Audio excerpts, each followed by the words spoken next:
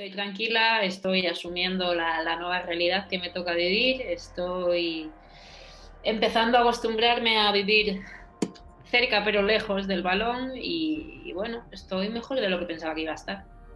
Esto lo sé desde mediados de diciembre. Mm, entonces yo, yo llevo con esto dentro sin poder contarlo desde mediados de diciembre y, y necesitaba sacarlo porque estar mal, que nadie entienda por qué estás mal y que nadie pueda ayudarte es complicado. Entonces eh, me ha venido bien soltarlo, me ha venido bien contarlo, creo que me va a ayudar mucho, la gente me ha dado mucho cariño, eso también ayuda.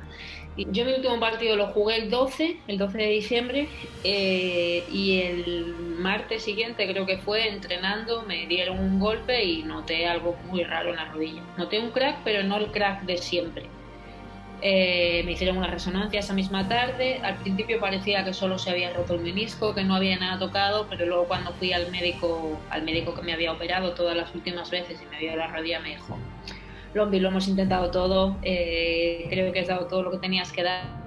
Eh, es que si sigues nos estamos jugando mucho.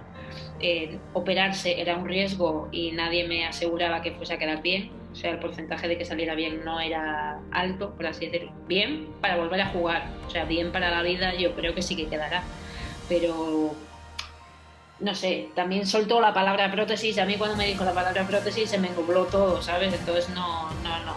Eh, hay momentos en la vida que la salud tiene que estar por delante. Yo ya he arriesgado muchísimo y, y hasta aquí médico me dijo que sí, que podíamos intentarlo, pero que, que, no, que seguramente era una operación más y que no estábamos 100% seguros de que. Si a mí el médico me hubiese dicho una más, seguro va a quedar bien y seguro que vamos a poder tirar un poco más, yo hubiese dicho, va, hasta final de temporada por lo menos. Pero es que operarme nueve meses, un año más de contrato, eh, comprometer al club de esa manera, sin saber si voy a quedar bien, sin, sin saber si voy a poder volver a jugar, innecesario. Jodido realmente. Ese, yo fui al médico a las 2 de la tarde y a las 3 de la tarde teníamos la comida de Navidad del equipo. Yo no quería decirle a ninguna de mis compañeras nada de esto y que se fuesen de vacaciones con el Lombi se ha roto, Lombi no puede volver a jugar. Entonces yo llegué a la cena, tuve que sonreír mucho, tuve que, a la cena no, la comida, tuve que sonreír, tuve que poner buena cara y no dije nada. Obviamente es imposible, obviamente se me notaba que algo pasaba no dije nada, intenté disimularlo, mis compañeros se fueron de vacaciones sin saber nada, yo me fui a Galicia, quería decirle a mi padre lo que pasaba, no fue capaz, no fui capaz, fue imposible. Eh, mi padre se enteró mientras veía la rueda de prensa y al volver de vacaciones fue cuando le conté a mis compañeras, después del partido contra el Depor además, después de la victoria contra el Depor les, les conté lo que pasaba y claro, pasaron del subidón de haber ganado un partido importante al bajón absoluto de ostras, nos quedamos sin lomo.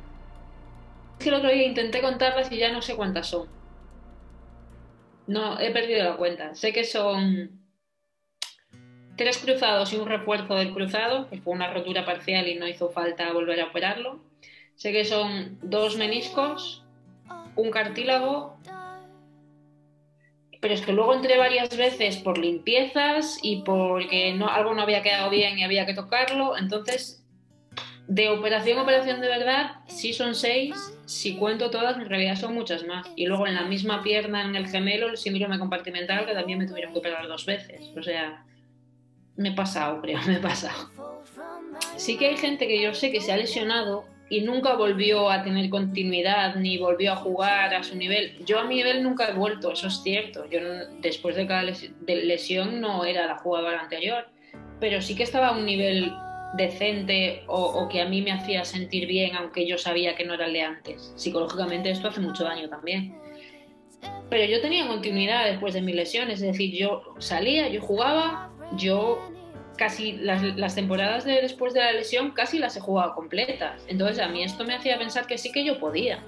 No era la mítica de vuelve, juega un mes, se lesiona, vuelve, juega un mes, se lesiona. No, yo en esos casos entiendo que sí que digas, no puedo. Pero yo podía. Y como yo podía, yo quería y yo seguía. Si te digo la verdad, a mí lo que más daño me ha hecho en los últimos años a nivel futbolístico no es ninguna lesión, fue el descenso del equipo. A mí eso es lo que más daño me ha hecho, que a día de hoy sigo sin haberlo superado y tengo una herida dentro brutal. Las lesiones, es que al, al final las lesiones aunque cueste y sea duro de cabeza, no te queda más remedio. No, no hay otra opción. Es o lo dejo o tiro para adelante. Y yo no quería dejarlo. Y, lógicamente el club eh, puso medios a mi alcance. Yo tengo psicólogo aquí, tengo de todo. Pero soy un poco también de la antigua escuela y no solía tirar de él. De hecho, era él el que tiraba de mí más que yo de él. Pero no sé, es que al final no te queda más remedio. ¿Qué haces? ¿Lo dejas? Yo no soy de dejar las cosas a medias. De hecho, una de las cosas que más me está matando de esto es que lo tengo que dejar a medias. No he acabado la temporada, no soy capaz y eso me hace un daño terrible. La primera ficha oficial es con nueve años, creo. yo creo que empecé antes. Eh, en la guía, hasta los 13 que me tuve que ir a Barcelona porque no, no se podía seguir ahí. Ya lo contó Vero esto muchísimas veces. Eh, de los 13 a los 17 en Barcelona, de los 17 a los 19 en la Unión Guardesa, en mi pueblo otra vez, 19, 23 Olivo, de los 23 a los 27 creo que era español, dos Valencia y hasta ahora español. Una idea, yo mi primer contrato, contrato de verdad de trabajo, lo tuve a los 24 años. Hoy en día tengo compañeras que tienen 10 bueno, 18 porque el primer contrato lo tienes que firmar con 18, pero que sí que reciben salario y tienen una especie de algo desde los 15, 16. Yo he dedicado mi vida entera a esto y me llevo muchísimas cicatrices y me he ahorrado muy poco, experiencias todas y no sé, estas niñas van a tener una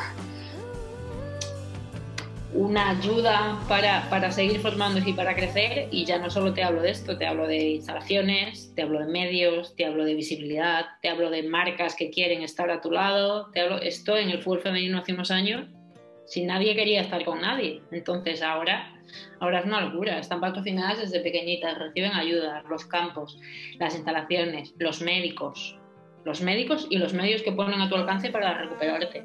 Es una locura firmar ya lo de, para convertirnos en profesionales, la liga, porque es una vergüenza que no lo seamos. Y segundo, siempre queda camino. Los medios son muy importantes también para ayudarnos en el camino, pero siempre, o sea, yo creo sinceramente que no vamos a estar nunca a la altura del fútbol masculino. Tampoco creo que sea necesario. Hay muchísimos deportes en España que tienen un buen nivel de visibilidad y de, y de afición sin necesidad de ser esa locura. Pero creo que todos tenemos que darnos de la mano y querer hacer el mismo camino. A veces parece que queremos ir demasiado rápido o que yo quiero tirar para allí y tú para allí y así no, así no vamos a llegar a ningún lado. De hecho, llevamos tres años estancadas por querer tirar cada uno para su lado audio, ni una llamada, ni un mensaje. Ayer en el partido de mi equipo de, de Copa en el minuto 16 estuvo toda la grada ovacionándome. Yo estaba abajo, un poquito escondida porque estaba quería estar cerca del banquillo y tal, pero lloré, lloré mucho. Porque, a, ver, aquí en el español que aplauda un minuto, el minuto 21 es, es mágico para todos y es, es, es, una, es una cosa que hay que vivir en el estadio. Entonces, que, que mi gente, que sabe la importancia que tiene ese minuto, haya decidido hacer algo similar eh, por mí, me tocó la patatilla. Es difícil, porque tú en realidad ves eh, el resto de comunidades autónomas y esto no pasa. El Madrid no tapa al Atlético, lógicamente el Madrid es el Madrid, pero no tapa al Atlético de Madrid, no tapa al Getafe, no tapa al Leganés. Le da opciones incluso para que lleguen a. Aquí no, aquí es al revés y yo creo que está mal planteado. Te lo digo de verdad, no porque sea de los pequeñitos, sino porque cuanto más grande seas capaz de hacer a tu comunidad con más variedad, más grande te van a ver fuera, más gente vas a conseguir atraer. Pero aquí parece que solo vale lo que vale, pero por eso mismo es más bonito ser de los otros. Vas en contra de autoridades, en contra de prensa, en contra de. A mí hay entrevistas de prensa que no me apetece dar, depende del medio que la tenga que dar, porque sé la importancia o no que va a tener. Entonces, también es eso, es un poco de rebeldía, es un poco de, mm, de, ir eso en contracorriente, pero nosotros con nosotros somos más familia. Hablabas ahora de Diego, acabo de recibir un mensaje de Iria, de su mujer, precioso. precioso. Somos muy familia entre nosotros, nos queremos mucho, nos protegemos, nos ayudamos en todo lo que podemos. Y eso es muy bonito. Seguramente los del Baxen no me malinterpretes, pero son tantos que ¿qué más da? No voy a tirar de ti porque seguramente hayan cinco más que tiren de ti. Nosotros tiramos. Te conozca o no te conozca, llevas mi escudo, llevas mi periquito. Llevas en el casco de la moto mi periquito y te pito porque llevas el periquito en el casco de la moto. Eso es muy bonito también. Sé que hasta junio eh, voy a estar aquí en el español, voy a, voy a ayudar en todo lo que pueda. Me van a pedir un poquito de aquí y un poquito de allá, pero yo voy a dar todo lo que pueda y, y voy a intentar hacerlo lo mejor posible porque yo quiero que este club sea mejor. Entonces hasta junio estoy tranquila y a partir de junio no estoy tranquila, pero yo sé que me he formado y que he estado toda la vida eh, trabajando, aunque no lo supiese para cuando llegase este momento, ¿sabes? Yo al final pues conozco mucha gente, eh, tengo mis estudios, eh, sigo estudiando todo lo que puedo y más, me sigo formando. Creo que también la experiencia en el mundo del fútbol es, es una ayuda y un grado para cuando llega la vida después. Entonces, ¿estoy nerviosa? No. ¿Estoy preocupada? No. Siempre he sabido buscar el camino y creo que esta vez también sabré, o eso quiero pensar por lo menos. Nada, la de abril con la sub-15 y me, Estoy enamoradísima de Abril desde que la vi en, la Promises, tengo que decirlo, espero que llegue muy lejos.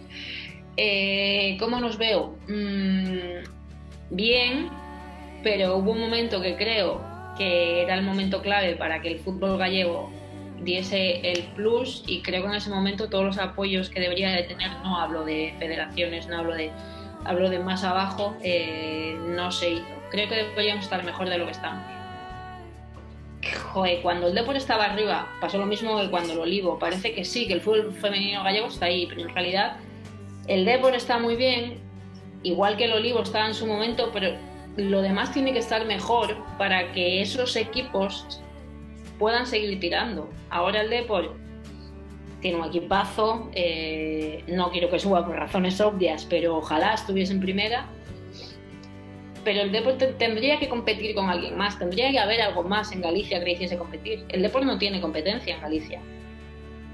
Y así es muy difícil crecer. Cuando tienes que buscar siempre la competencia fuera, es muy difícil crecer. El deporte para, para formarse o tira del propio deporte que compite contra esos equipos que no están al nivel que tienen que estar, o lo tiene muy difícil, o tiene que ir a fichar fuera a mí eso no me gusta porque sé del nivel que hay en Galicia, lo conozco. Joder, Tere, Mapi, que ya es otra época, pero Mapi, Nuria en la Real, María en el Levante. O sea, Galicia tiene un nivel de jugadoras espectacular y que seguramente esas jugadoras sean base de selección. Y lo que viene por abajo, que he podido ver en categorías inferiores, que conozco por, por Vicky, que es vuestra entrenadora, también es muy bueno. Entonces, mi pregunta es, ¿por qué el fútbol femenino no es tan, no es tan bueno como las jugadoras que tiene?